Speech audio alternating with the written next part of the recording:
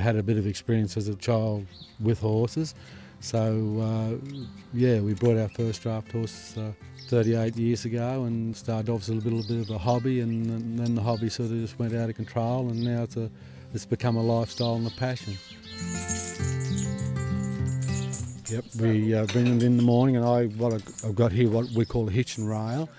They get a quick brush down then to make sure they've got no burrs in their manes or anywhere that the, harness might be on them that they could get the rubs. Uh, and then uh, once the collars and winkers and their back chains are on, then uh, we have what they call the shafters first. They, uh, they've got back saddles and breeching. They back into the, the wagon. Uh, they're, they're connected in.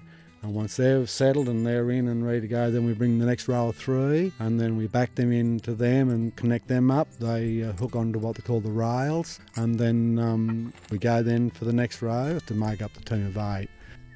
You've got uh, Sally, Jess, Belle, Bo, Maggie, Molly, Jetta, and Gypsy. Uh, it takes two hours to bring the horses down, brush and harness ready to be, uh, be on the road and going.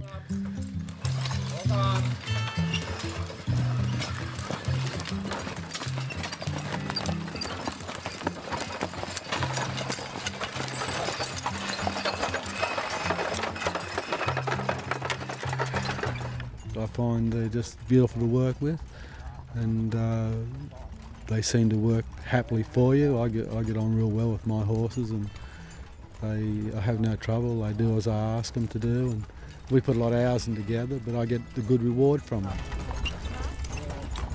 It's just a passion. Someone's got motorbikes and rides them about, and other people, you know, got speedboats and do that. I do horses. You know, that's my that's my calling.